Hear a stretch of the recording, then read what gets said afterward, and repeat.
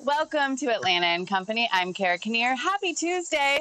I'm not Christine Pullara. She's enjoying a little time off with some family this week. So we're going to get you through the rest of the week as best we know how with a smile, a laugh. Maybe you'll learn something too. And someone who gives me smiles, laughs, teaches me something each and every day on the morning rush is the one, the only Crash Clark, who's joining us for It's All Good this rest of this week. How's it going, Crash? Hey, good morning. Good, good to see you. And, and, you know what? I just have to say this real quick because I know they, you know, I always talk about Disney World and it's my favorite place on earth, and they just reopened down uh, in Florida. You look like a Disney princess sitting there right now. Your beautiful scenery and your dress, you really look like you should be in Frozen 3.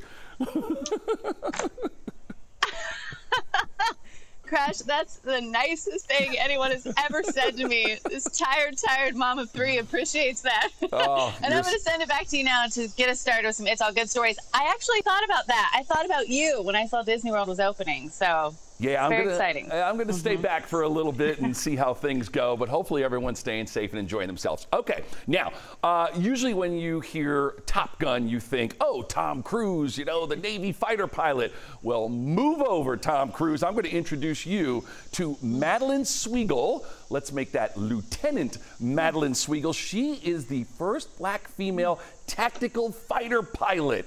Now, she earned her wings as a U.S. Navy fighter pilot, and now she is getting her wings of gold, an inspiration to just anyone in the country to just say, hey, you know what? I can do anything you can do and even better. We all know that women rule the world anyway, so why not have them as U.S. Navy fighter tactical pilot? I love that title. Mm.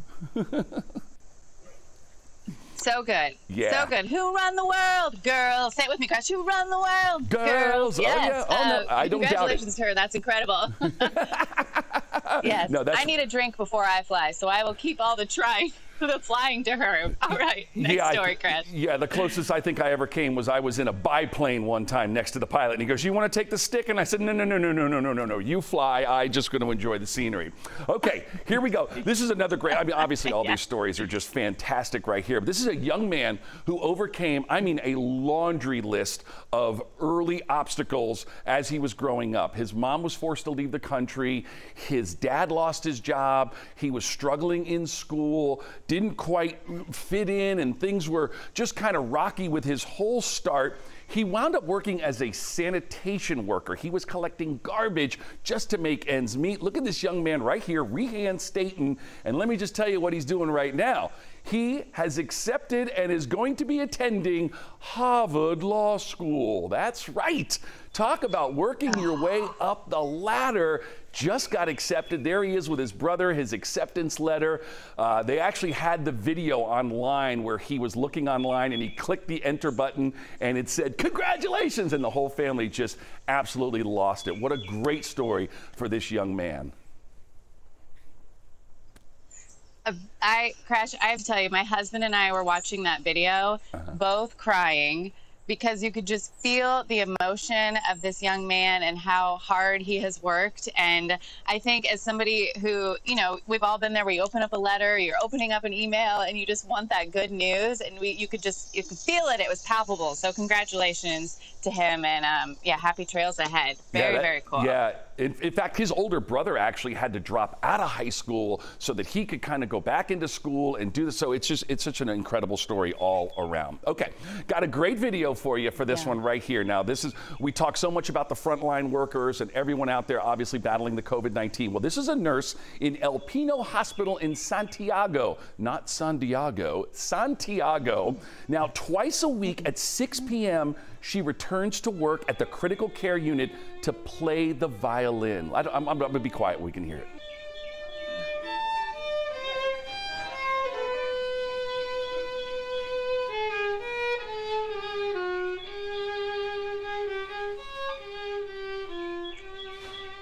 Absolutely beautiful. She comes in, and the patients, even though they're in the critical care unit, they can see her coming and they start, their eyes get wide. They even clap for her when she's finished. She plays all her favorite little songs uh, from her hometown. And it's just the, the, the fact that she works there in the critical care unit and then comes back to work, what a true hero. Absolutely.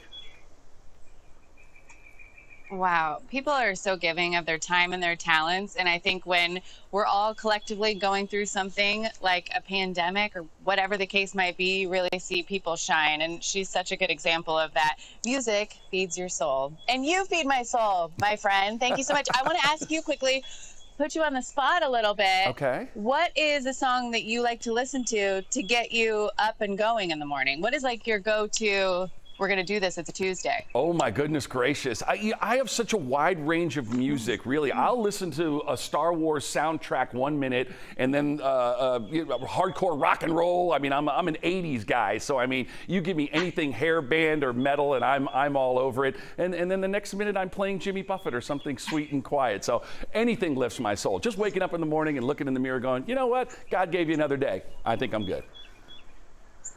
That's right. That's right. Thank you also, Crash, for blessing our day with you. We appreciate, my friend. We'll see you back here tomorrow. Thank you so much for joining us. I can't wait to rock out with you soon in person. All right. If you have a fun or interesting It's All Good story, please send it to us on our Facebook page. You can tweet us, you can email us. Just use that hashtag, It's All Good, and we will share it right here on Atlanta and Company. We love hearing good news here in our backyard, but especially all over the country.